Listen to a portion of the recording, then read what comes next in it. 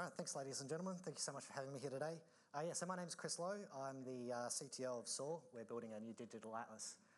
Um, so what I'd like to talk to you today about is just very, very high level look at software architecture for building large scale mapping applications. Um, so one of the things that I'd like you guys to get out of this is sort of an understanding of how certain technical and infrastructure decisions can affect the users and they can affect the overall business. What am I pressing here? This one? This one? There we go. Cool.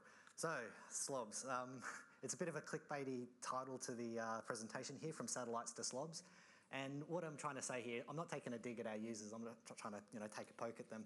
What I'm trying to say here is that when it comes to accessing maps and satellite imagery, our users deserve the right to be lazy. They deserve the right to have really easy access to their content and uh, it should be seamless. And one of the things I find um, uh, being, a, being, a, being a bit of a technical, technical guru, um, and is that a lot of times my own technical details and technical implementation sort of decisions bleed into user land and it starts to affect the users in detrimental ways. And um, I, you know, I've been here for a couple of days now and had a chance to have a chat with a lot of you guys, and uh, it's really overwhelming just how knowledgeable and uh, you guys are with your, um, you know, with your geospatial uh, technologies. So you guys are probably guilty with this at some point or another as well when you're having a discussion with someone who's a bit lay and suddenly these uh, details about your, you know, the minutiae of your technical implementations and your technical details start bleeding into your users. So yeah, so the main, the main, the main, the main point here I'm trying to make is that very often our technical details, our technical uh, information starts bleeding into user land in in in, uh, in poor ways. Um, additionally, additionally, uh, our entrepreneurs, our decision makers, government, you know, overriding bodies, these guys also deserve the right to be lazy. Um, the, the, they need access to the really salient bits of information about how this will affect, how decisions will affect their, their business and how it will affect the, uh, the you know, the bottom line, the costing and so on. But uh, you, but you can't sit in a meeting with uh, you know high-level business people and uh, overwhelm them with uh, technical jargon and technical details.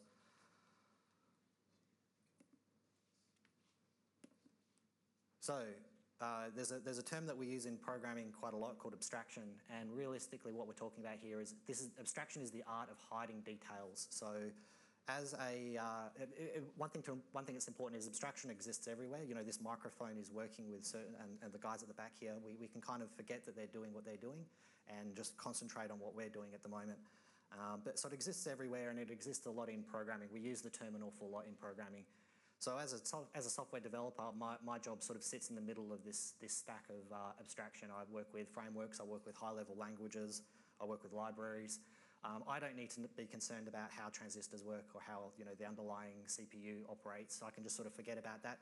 Um, it's kind of interesting to know how they work and, and, and uh, certain details that are maybe salient at certain, at certain points, but for the most part I can forget that they exist. And similarly, this pyramid of abstraction really shows that I sort of have a responsibility as well to make sure that my detail doesn't bleed into higher levels. So yeah, so keeping the, uh, keeping the details from leaking is a huge part of abstraction. Bit of a Dilbert comic for you. Um, it, this happens all the time. So abstraction bleeds, uh, we call it abstraction bleed. So this is when your, your own details bleed into other areas of concern. And in this case, the stakeholder, the, the, the guy here, is trying to solve as many problems as he possibly can from his user. And the engineer, Dilbert, is turning around to him and saying, you know, you realise this is going to be far too complex to actually build or to, to, to use and manage. So uh, abstraction does bleed, and realistically what the antidote here is really clear communication between the various levels and um, to make sure that there's uh, a, a, clear, a clear dialogue. Um, I, am talking to the wrong crowd to give you a GDAL 101, but GDAL, uh, the, the, uh, so obviously I won't go into GDAL too deeply at all, but um, the one thing that's very interesting here in terms of the topic of this presentation is the acronym for GDAL, the Geospatial data abstraction library.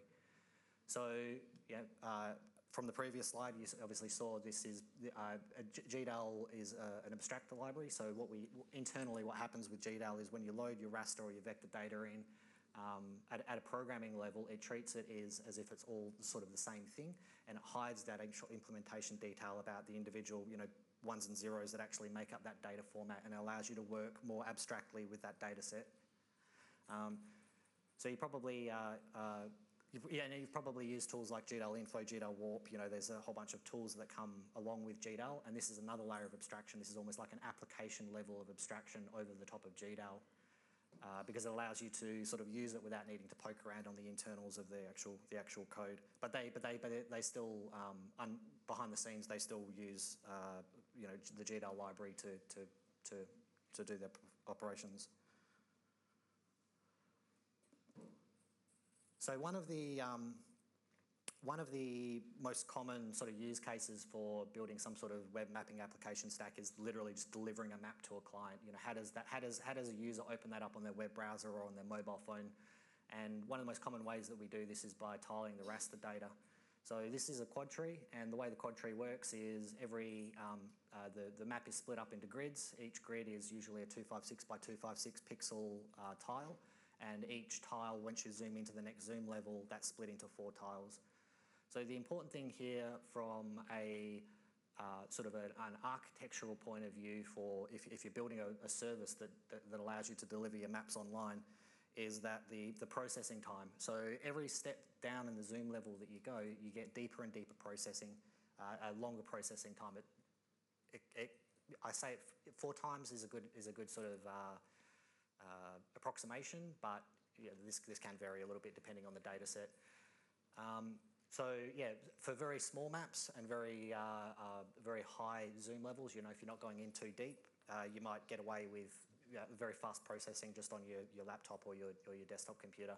Um, but the moment that you start getting too deep, eventually reaches this sort of threshold where going a single zoom level can suddenly take you days, months, days, weeks, maybe even, I've seen months for, for processing very high resolution maps. Um, so where this, where this bleeds into user land though is what happens when the data the data requirements is is immediate. So two of the two of the uh, quite sad jobs that we have had a very our organisation has had a very very small part in was the uh, search for MH370. My CEO was very involved in the uh, uh, looking at the uh, satellite imagery of the potential disaster area, the potential crash zone, to try to find the data. And another one more recently, which was extremely sad, was the uh, Gulf Livestock One ship. Um, this was a, a, livestock ship that left Port of New Zealand um, and sank off the coast of Japan uh, back in 2020. So in the case of these guys, you know, the, the, our users here, my slobs, are um, search and rescue. These, these are people who's, you know, and, and, the, the people that are potentially sitting in Lifecraft waiting to be rescued. Um, so if I was to turn around to them as a technical director and say, oh yeah, your map's going to be ready in eight days, that's, that's, that's, no, that's no, no juju. That's not going to work. Um, so yeah, so uh, what, we, what, I'm going to segue into now is how do I sort of, uh, what, what, are what, are some of the back-end infrastructures that we can look at to um, uh, either improve delivery time or to allow for much greater concurrency to allow multiple maps to be processed at the same time. And as I promised at the beginning, this is an abstract. This is, um, I'm treating you guys as slobs now. You know, you, you deserve to be lazy, so there's going to be no big uh, architectural you know, overview diagrams or too much jargon. It's very, very high level. So a couple of the uh, a couple of the pieces of infrastructure that you'll see all the time is um, a Docker. So Docker is a fantastic tool. It allows you to containerize your application. It allows you to take your entire application, um, your all of your dependencies, like in this case GDAL or GDAL2 tiles, if that's if you if you're doing a simple tiling process, but it allows you to place it into a Docker container um, and, and, allows you to deploy that into various cloud providers. Uh, it's extremely, uh, and again, it's an abstract library, so it allows you to sort of abstract away the operating system and the, and the, the development environment, and the application stack allows you to deploy that into the cloud. Uh, as you move down the list, this list here on the left here towards Kubernetes and serverless, you start getting into more complex develop, dev, dev operations. So you need more trained developers to be able to manage and to, to, to set these things up. Um, so you know you can be you can be looking at slightly larger complexity in terms of um, time to market, but uh, but you also get a lot more power and flexibility out of them. So with Kubernetes, uh, the way I describe Kubernetes to a layperson is it allows for horizontal scaling. So it allows you to treat multiple computers together concurrently, uh, side by side, as if it was one giant supercomputer. So 20 years ago, if you needed a lot of processing power, your only option really was to make, build a larger computer, build a supercomputer. But these days with Kubernetes, you can use lots and lots of small instances on the cloud and treat them as a really colossal supercomputer. Um, and I've seen CPU, I've seen Kubernetes clusters running up to many thousands of CPU cores. Um, uh, so uh, very, very powerful. Um, and more recently, I believe we actually have, I'm not sure if he's in the, uh, yeah, so we've got, we got, we got, we've got a gentleman here from AWS who was talking about serverless earlier today. And um, well, I'm, I'm, a huge fan of serverless. This really changed the game when this came out. Um, serverless effectively allows you to treat um, like a, a, work, a, a, CPU instance, like a work instance, a piece of um, a piece of code that needs to execute uh, on demand. So it allows you to scale on demand and allows you to access the, uh, the that compute power as, it, as, as it is required. And we can, we'll, I'll, I'll, show you some of the implications of that in a, a future slide. So we talk about um, this, this, this now becomes my abstraction between myself as a developer and the business operators because eventually somebody needs to pay for this large scale mapping application. There's going to be ongoing server costs and so on. So the, the, the, and the one thing that the business owners are going to want to know is how much is this going to cost me per month? How much is this, how, how is it going to, uh, how, how is it going to change over time as my user base grows? So you're looking at just a very, a very um, uh, not, a, not, a, not a correct view of what user interaction over time might look like, but it's again, it's, it's abstract. Um, one thing I notice a lot with mapping applications is you get very spiky behavior from your network traffic. Um, maps, if you happen to have a couple of people sitting online at the same time or zooming into the same area, you're going to get a big spike in your network traffic very quickly, um, and that'll, that'll drop off. And, but, but, this, but this graph shows what a typical sort of uh, uh, successful mapping application might look like. It trends upwards over time, and it's uh, uh, spiking up and downwards. Um, if you're running something like Docker and just uh, deploying Docker on a simple cloud compute instance, you're going to get what I would refer to as the most ideal cost system. Um, you're going to get a very flat cost. Um, the, you know, you're going to know exactly how much your server's going to, uh, server, it's going to cost to run your servers month in, month out, and it's going to remain relatively steady.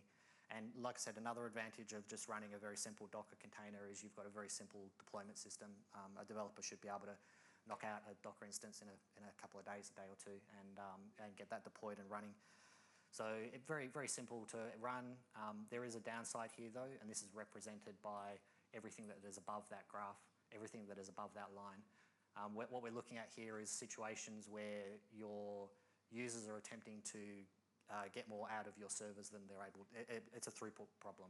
You're attempting to get more um, processing out of your uh, your Docker instance than, than it's able to provide. So above this graph, what you're looking at is lost users, users that are going to try to log in and look at the map, and it's just not going to load. Um, in, uh, another thing I'll point out as well is quite often when you see this, when you are above capacity for your for your servers, you, are not just looking at a flat drop off of users, like we're not just getting half of the users are able to use it and half aren't. What you, will find a degradation occurs. It'll, it'll, it'll start fail, it will start get, becoming extremely slow and it will pretty, pretty much time out for everything. You tend to get clogged up. So uh, again, this is, this is a technical decision that, that affects uh, the business operators because you need to be aware of uh, what will happen if you do, if you do grow Kubernetes, um, as I mentioned before, allows for scaling. If you've got really good developers and really good DevOps, you're able to do things like auto scaling, so you can listen to when your cluster is starting to reach its capacity and automatically scale that up. And once it's out of, uh, and, and, once it's, uh, you know, if you have a drop off, you can dial your cluster back down uh, um, to save on to save on costs. There is again with um, very high uh, uh, priority mapping situations auto scaling can sometimes be a little bit too slow for what you need. Um, it usually takes a couple of minutes from when the, it detects the fact that there is a, uh, a, an increase in traffic to, to, to, to, scaling up and delivering that extra compute power. But, uh, but yeah, Kubernetes can, is definitely extremely powerful. In, in the past, the way that we've run this is uh, Kubernetes clusters is by always just being a little bit above capacity, accepting the fact that it's going to be a bit more expensive for our needs, but to try to always mitigate the fact that we might get a sudden spike in traffic and uh, and uh, uh, having the, the CPU capacity to be able to, to, be able to support that. Um, Yeah, so serverless, uh, as, as, as I mentioned before, is more of a you uh, pay for what you use kind of infrastructure. Um, and this, uh, I, I- again, like I said, a really huge fan of serverless serverless infrastructure. Um, you kind of get a, a, the best of it, the best of both worlds. Like like a um, the the downside here though is that we are looking at much more um, advanced DevOps. You know, you, it's a brand new technology. There are certain um, there are there, there are certain things that we found when we migrated over to serverless uh, that have tripped us up and that requires yeah, you know some some some extra work around to, to make sure that it's performing the way that we want to. But by and large, the, the really nice thing about this graph, of course, is that um, when I'm asked how much is it going to cost, I can turn around and say, well, that depends on how many people are using our service. The more, if we're really successful in our in our business, then you know we're going to have a, a much larger running costs, but but um, uh, but but yeah, it's reflected by the uh, by the amount of people that are using our service. So this first line is probably going to be very controversial to a lot of people in the audience um, when I say that, that storage is generally very cheap. Um, I know I've spoken to a few people that are running many, many petabytes worth of data, and that's obviously a very large operational cost. But by and large, the, the reason I say that server is cheap is that you can be reasonably confident month in, month out how much you're going to be paying for your servers, uh, for your storage. Something on S3, you know, you're looking at yeah, you know, cents on cents and dollars on the on the terabyte. So you know, you, you can be you can be uh, on the gigabyte. Sorry, so you can uh, be fairly confident in in how much data you're going to be storing ahead of time, and um, and you can project that into your cost structure. Uh, processing can be expensive depending on what you're doing, um, but by and large, again, it's fairly easy to predict. The, um, the, the that, that graph that I showed you with the network, um, the network uh, usage, the user interactions over time, that's the really volatile one in, in my opinion. And it's the one that you really need to pay the most amount of attention to. Um, it's definitely, for me, the largest single cost contributor to our back-end infrastructure. And um, like I said, also the most volatile. The, the, the, the, worst case scenario for me would be to wake up one morning and look at my logs and find that I've had a massive influx of users overnight. Then I need to, you know, need to go to my boss and explain that we're going to have a bit of a cost blowout the next day on our next, on our next bill. So the, there's a couple of things you can do to sort of mitigate that, um, and, the, and the, pretty much the best thing you can do is um, uh, the most successful thing I found is to put up really good analytics and monitoring systems. So we have like automated Slack messages that get triggered under certain thresholds of, of user user activity. Um, a lot of analytics for when things sort of fall over. Um, but, but, but using analytics to sort of generate these sort of trends and to sort of look at these generalities to how, how costs might change over time is extremely important. Thank you. Um, and Cloudflare caching, yeah, if you're not using Cloudflare caching for your web mapping application, you should definitely be looking at it because it's a huge cost saver. It allows, um, it allows for a much more efficient uh, usage of your network. Um, I am running out of time. Well, very briefly on the front end technology stacks, Leaflet being your general kind of use case for web mapping. Um, great on mobile, great on desktop, very flexible. D3.js, not usually associated with, um, with mapping technologies, but it is a generalized visualization tool. And I've used this quite a few times for things like if I need a quick, quick map or a quick data visualization. Extremely useful tool and very familiar to front end developers. Uh, Cesium is extremely fun to look at, 3D mapping. Um, and uh, Whirly Globe is one I want to give a bit of a shout out to as well. This is sort of a, uh, a, a guy who's building a mapping engine on his own, um, uh, but extremely flexible. So if you are looking at a mapping engine, have a look, have a quick look at Whirly, uh, have a quick look at Whirly Globe, because he's um, doing some pretty, pretty, pretty fun stuff. And um, yeah, a quick, quick summary, which I, which I won't go through, but, um, but yeah, thank you very much. Thank you, Chris. Um, any questions for Chris? Over here, Nick? Actually, no, don't don't let me go. Let's have else. Um, so you had those charts showing the cost of, I guess, like single container deployment with no scaling, Kubernetes EKS with scaling, and then the serverless approach. Um, but what's the actual relative change in cost between those three approaches for your use case? In my own use case, we found that Kubernetes was about five times more expensive than serverless. Like it literally, it literally cut my bill by a fifth when, when, we- when we made the migration. So it was a, it was a big, it was a big change. I had a related question. Uh, Is there a scale at which going back to containers is going to make sense? Um, not, not for the kind of application that we're developing where it's a, a web mapping application where it has to always be available. But if you are more sort of data processing, um, one of the real advantages of Kubernetes is you can use like spot instances to really save on, on, on your costs. So instead of needing, if you don't need your processing immediately, if, you, if you're happy waiting for uh, spare instances to run, it's, it's, it's very, it's worth going to Kubernetes. So yeah, different, different tools for different reasons. Now, I think we'll keep going for a couple more questions. I just want to let you know that the other talk in the other room is starting about now if you want to go up there. But I do want to give Chris the opportunity to have a couple more questions. Uh, the sort of compromise between performance and the need for uh, an understanding of the architecture and you know hiring developers who un- understand how to use these tools. Uh, I guess my own personal experience has been a nice compromise in that space is using uh, cloud managed services like AWS Lambda or Azure Functions to do a lot of this um, horizontal scaling stuff.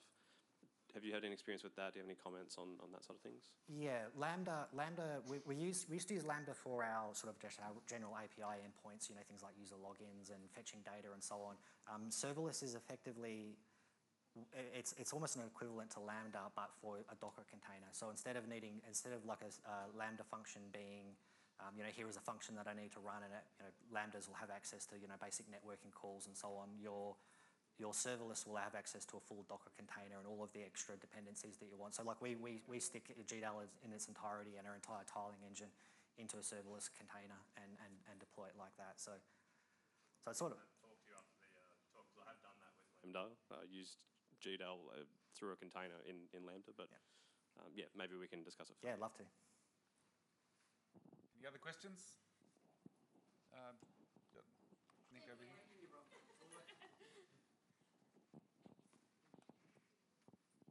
Um, just a quick question on, on serverless. Did you notice a change in latency? Because if you like, it's such an on-demand kind of service where people are requesting tiles. Like, was there a big difference in latency?